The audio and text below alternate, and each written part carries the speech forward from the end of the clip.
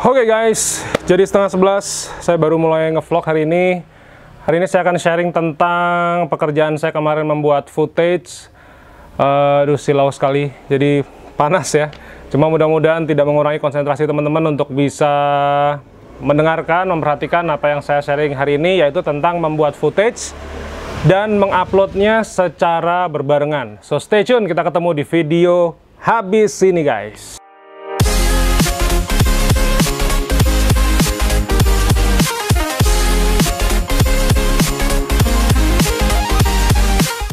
Selamat pagi, siang, sore, malam, teman-teman semua. Nama saya Bima Aditya. Terima kasih sekali sudah datang ke channel YouTube saya. Terima kasih sekali sudah menyempatkan diri untuk belajar tentang dunia fotografi hari ini. Mudah-mudahan selalu sehat. Mudah-mudahan yang sudah mulai di Shutterstock earningnya juga sudah mulai setiap hari. Kalaupun belum setiap hari ya setiap bulan sudah ada yang laku satu, dua. Disyukuri aja karena ini adalah long journey. Jadi uh, nikmatin prosesnya. Seperti tadi saya bilang, kemarin saya barusan membuat sebuah footage tentang keong. Nah, jadi ini adalah footage sederhana. Kemarin bikin 8, cuman yang tiga kayak goyang-goyang, terus uh, angle-nya pas nggak bagus karena belakangnya sebenarnya adalah kandang kandang ayam gitu ya. Nah, pada kali kemarin saya menggunakan kamera EOS M saya, ini EOS M bekas tahun 2014, dan menggunakan lensa, nah ini, lensanya yang penting nih yang ini, ini adalah lensa 35 mili, f-nya bisa sampai 1,6 jadi sangat blur. Cuman saya nggak berani 1,6 karena kalau 1,6 itu bukaannya besar ya. Di dunia fotografi itu kalau angkanya kecil kita ngomongnya adalah diafragmanya besar karena memang kalau dilihat bukan diafragmanya jadi lebih besar. Nah ini saya takutnya misfokus, makanya saya kemarin menggunakan f di 2,8 yang beberapa hasilnya seperti yang teman-teman lihat sekarang ini. Ini kemarin ada uh, namanya juga musim hujan ya. Saya dibantuin anak saya, jadi anak saya itu pagi-pagi senengannya ngumpulin keong satu persatu. Kebetulan ada pohon mangga mati, nah ditaruh sama mereka di situ keongnya, kemudian dijejer-jejerin. Jadi ini dibuat mainan sebenarnya. Terus saya bilang, uh, oh, papa bikinin footage deh nih, bentar papa cari duit sebentar, uh, mudah-mudahan approve dan kemudian sold ya, papa bilang gitu. Terus uh, saya bilang begitu ke anak saya, akhirnya saya bikin footage. Nah ini teman-teman bisa lihat.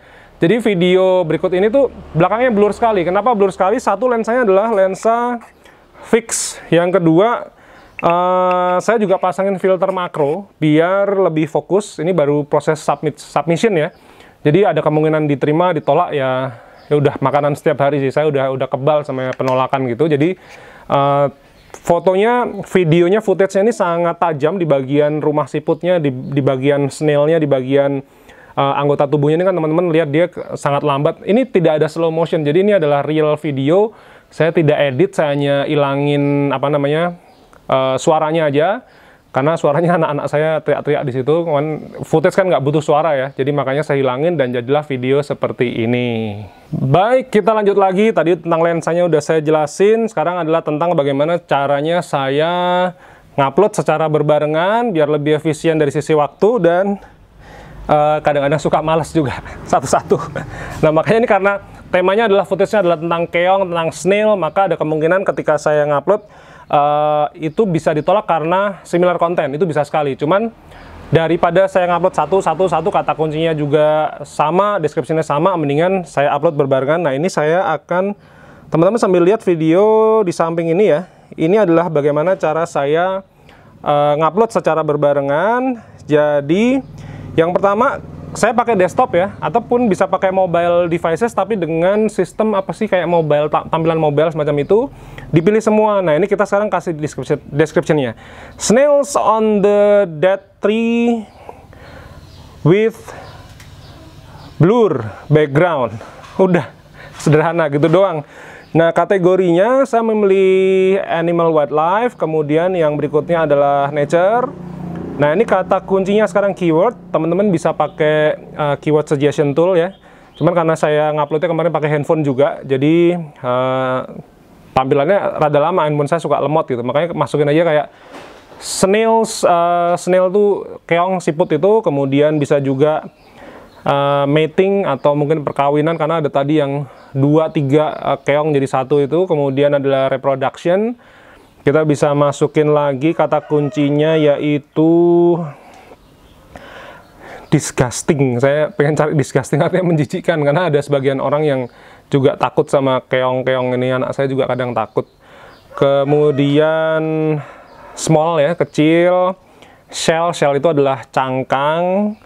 Kemudian dead tree karena saya saya membuat footage-nya di atas pohon mangga yang sudah mati ya kemudian lanjut lagi wildlife jadi ya uh, kehidupan liar duniawi alami hewani lah intinya gitulah.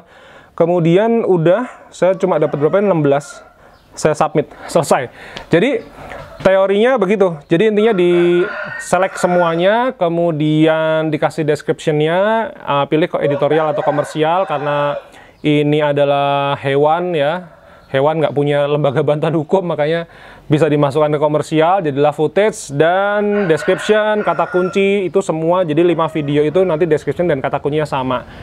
Uh, ya kadang-kadang yang laku cuma satu dari lima video, cuman ya nggak nggak masalah kan. Lakunya juga bagus ya kemarin kan ada salah satu subscriber juga mention saya footage-nya dibeli kayaknya sekitar 40 dolar banyak loh hampir 600 ribu. Jadi selamat mudah-mudahan teori ini membantu teman-teman semua untuk mengupload 5 lebih lebih dari satu foto ataupun footage secara berbarengan kalau teman-teman perhatikan beberapa hari terakhir ini saya sering upload juga konten tentang NFT karena saya juga masuk ke dunia NFT sekarang. Teman-teman bisa masuk ke playlistnya khusus NFT itu adalah cerita perjalanan saya uh, jatuh bangun dari nggak mudeng, nol potol, semua tentang NFT semua saya upload. Nanti playlistnya ada di atas, teman-teman bisa masuk belajar bareng.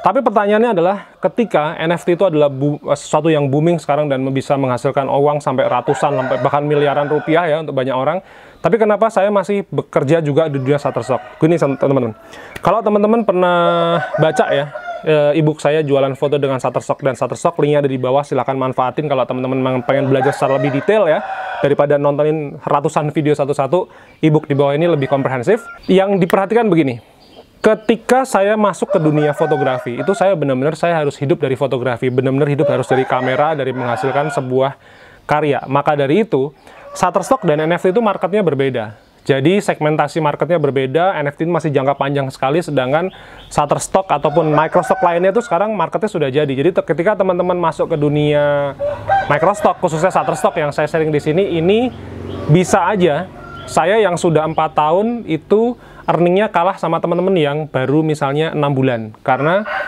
Siapa tahu saya tidak bisa mendapatkan sebuah segmentasi market yang detail, tapi teman-teman ternyata misalnya loh ya, teman-teman kerja sebagai uh, karyawan di bidang tambang, teman-teman mau motretin tambang terus setiap hari bahkan cuma dengan smartphone apa pun ya, ternyata itu adalah sebuah karya yang sedang dicari saat ini. Dengan begitu teman-teman bisa mendapatkan earning yang jauh lebih besar daripada saya. Itu sangat memungkinkan. Tapi kalau di NFT itu prosesnya cukup panjang karena sistemnya berbeda. Nah, maka dari itu ini adalah jawaban kenapa ketika saya sudah masuk ke NFT uh, eh, jangka panjang lah ya. Kenapa saya uh, motret wedding and portrait itu kan uh, rate fee saya cukup tinggi ya. Tapi kenapa saya juga masih berkecimpung di dunia receh-recehan cuma 10 sen, 20 sen, 30 sen seperti ini? Karena segmentasi marketnya berbeda dan ini adalah diversifikasi bisnis dari studio yang saya bangun. Sekali lagi saya ucapin terima kasih teman-teman sudah nonton video ini sampai akhir. Kalau teman-teman butuh bantuan tentang informasi cara bisnis dengan Microstock, khususnya Shutterstock ya, saya fokus di Shutterstock, saya nggak ada di platform lain. Teman-teman bisa baca ebook saya di bawah, jualan foto dengan Shutterstock dan Shutterstock. Ada kupon code, silahkan dipakai. Kalau teman-teman nggak punya PayPal, credit card, silahkan email saya, ada di bawah juga, nanti akan dibantu oleh tim studio. So, terima kasih sekali lagi teman-teman sudah mengapresiasi apa yang saya lakukan di YouTube. Subscribe, nyalain loncengnya, karena saya akan share tentang dunia fotografi setiap hari jam 5 pagi. So, stay tune guys!